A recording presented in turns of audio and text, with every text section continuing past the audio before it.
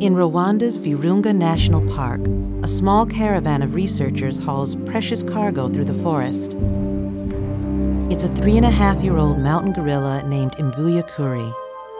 Poachers killed two members of her family to capture her, but were themselves caught before they could sell her on the black market. Now she's being returned to the wild, and if she's lucky, to rejoin her kind. A gorilla can be uh, reintroduced in one of the group.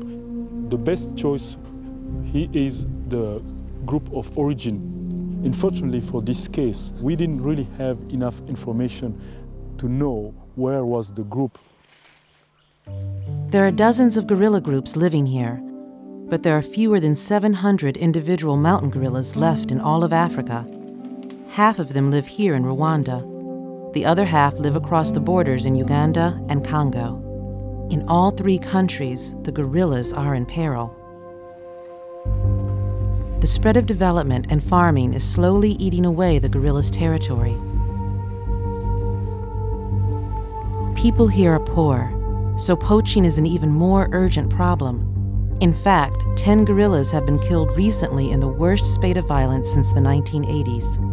In many cases, the poachers were trying to snatch a baby gorilla.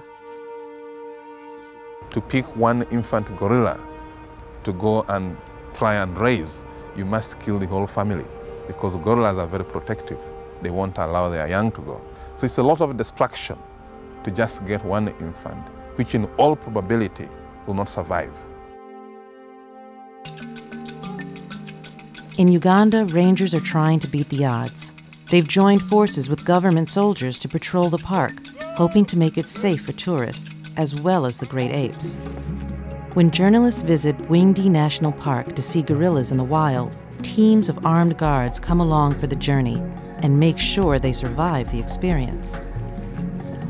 Tourism generates a lot of money, which is vital to gorilla conservation.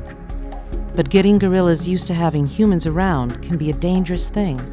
In fact, researcher Michelle Goldsmith says it makes the poacher's job that much easier.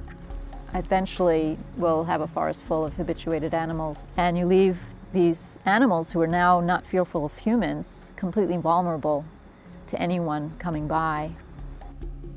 That's why anti poaching patrols are so vital. Just last November, rangers stopped five armed poachers from snatching a baby gorilla, and they got some help from a member of the gorilla's group. There was this very loud cry, and it was a human cry, and somebody was asking, I mean, uh, calling out for help. Please, I'm dying, you know, help me, save me. And actually, it was one of the poachers and who had gone very close to one of the gorillas, and the gorilla had actually attacked him.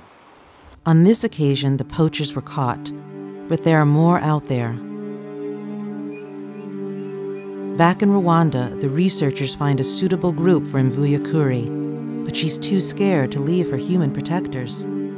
A few days later, weakened by the stress of her ordeal, she dies. More proof that in these jungles, where the last mountain gorillas cling to existence, nothing comes easy.